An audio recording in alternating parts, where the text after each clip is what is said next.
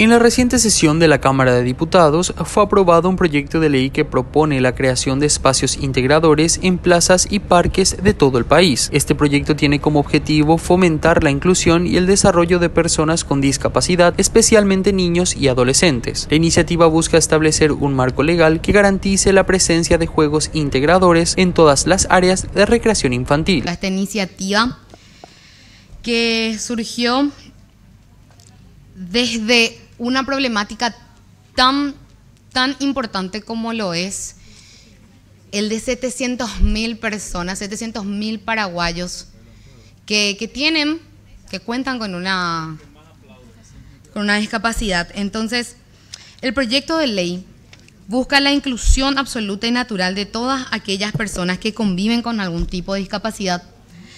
Las plazas, por excelencia, son un espacio donde se propicia el encuentro público, donde nuestros niños y niñas pueden jugar y relacionarse. La participación en este juego sienta las bases para que más adelante sea posible el proceso de integración escolar y laboral.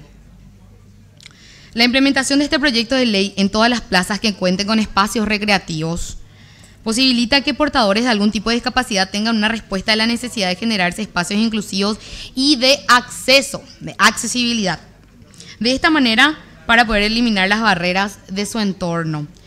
La inclusión llevará a respetar y valorar las diferencias como algo que enriquezca a las personas con discapacidad, siendo en la actualidad un 10,7% de la población total, más de 700 mil paraguayos. Señores, hoy podemos también hacer historia y darle una mejor calidad de vida según lo que dictamina también la Constitución Nacional. Este avance legislativo refleja el compromiso del cuerpo legislativo de garantizar que todas las personas, independientemente de sus capacidades, tengan la oportunidad de disfrutar de espacios de recreación de manera plena y sin barreras.